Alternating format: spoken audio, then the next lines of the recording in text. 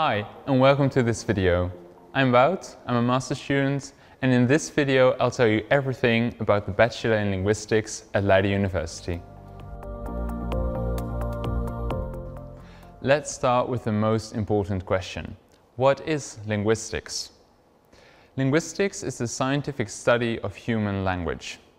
And you might think, language, can you really fill an entire study program about language? But there might be more to language than you think. When I just say a word like apple pie, you think I'm not really doing much, but I'm breathing out air, moving my mouth, lips, tongue, and I'm creating sound waves. You register those, and then you think of an apple pie, but you might even see or smell an apple pie. And that's exactly what language does. It's an efficient way of communicating ideas, thoughts and memories.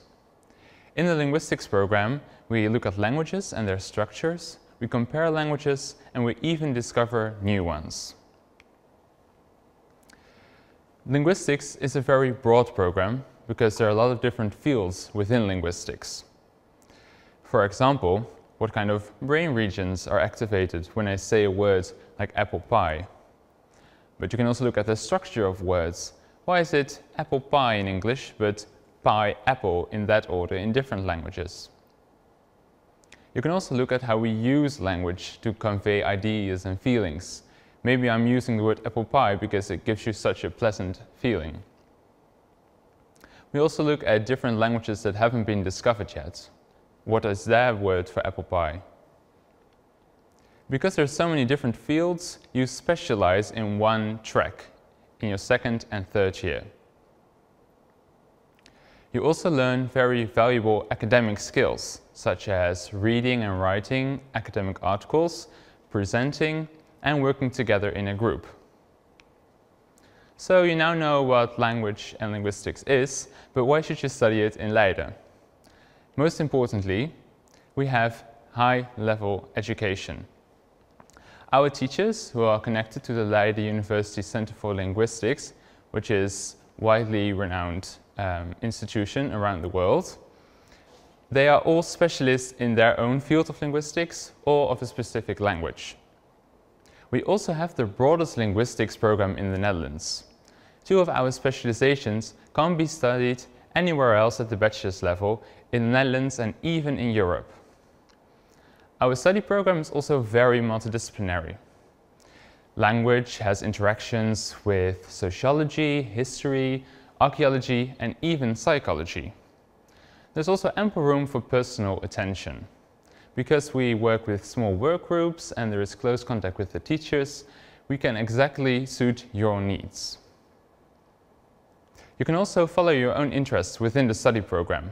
Because of these specializations and the many electives that we have, you can exactly study the thing about language that you find interesting.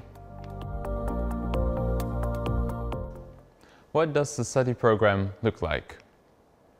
The entire program consists of three years, and every year consists of two semesters. The first one running from September until January, and the second one from February to June. In the first semester of the first year, you'll have six mandatory courses. These give you a broad basis within the field of linguistics. You learn about the languages that there are, the sounds that they use, and how these languages are used. You also already learned some very valuable academic skills, namely the reading of academic articles. In the second semester of the first year, you'll again have four mandatory courses, but you can also choose between a lot of preparatory courses. You'll take two. These courses prepare you for the different tracks that we have in the second and third year. You can already learn a bit about the psychology behind language or uh, what words and their meaning have to do with each other. And you can already choose a course about a specific language. For example, the structure of Quechua. In the second year, you'll choose a track. Within a track, there are uh, specific mandatory courses, but also track-bound electives. And you can use this to shape the track in the direction that you want. There are four tracks in Leiden. They are Language and Cognition, Descriptive Linguistics, comparative Indo-European linguistics, and language in use. This last track is taught partly in Dutch, and therefore, in order to take it, you have to be fluent in the Dutch language. Language and cognition is all about how language works in the brain. What brain regions are active during speech, and what happens when those are damaged. Might that cause speech errors, for example? And how do children acquire their language? This track is both experimental, but also theoretical. So you learn about the research that has already been done and how you can contribute with your own research. In order to do this, you can use one of our several labs. An example lab is the EEG lab, where you can measure brain activity during speech. In descriptive linguistics, you learn how to describe a non-European language.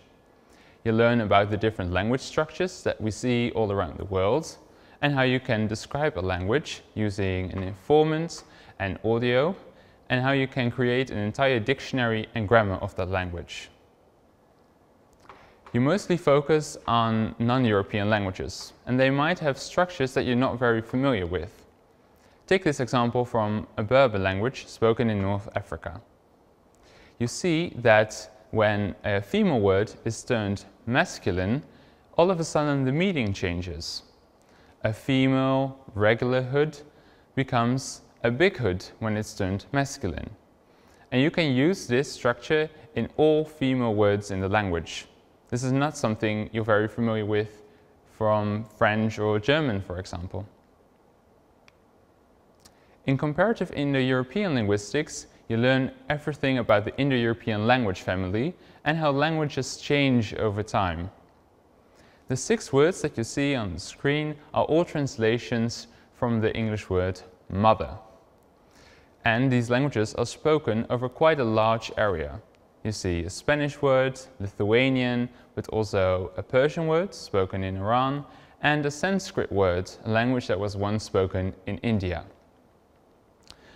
All these words spoken over this large area have something in common. They're all quite similar. And that's not just an accident, because all these languages all stem from the same proto-language called Proto-Indo-European. And in this track, you learn everything about this proto-language and its descendants. You also focus on three example languages within this family, and they are Old Greek, Sanskrit, and Hittites. The fourth track language in use, which is primarily taught in Dutch, is about how people use language to express themselves. We use language to not only communicate ideas, but also part of our identity. By the way that I speak, you might deduce something about my age, uh, my ethnicity, or maybe the opinions that I have about a certain subject. Society also has opinions on language, so that is why certain accents, for example, might disappear because they're not seen as decent, and some standard languages might survive because they have high prestige. In language and use, you also look at how people use language to convince others of their opinion. What kind of argumentation structures do they use, for example? And how do they just choose the right words to convince others that they are right? In the third year of your bachelor, you take more track-specific courses, but you also have ample room for your minor.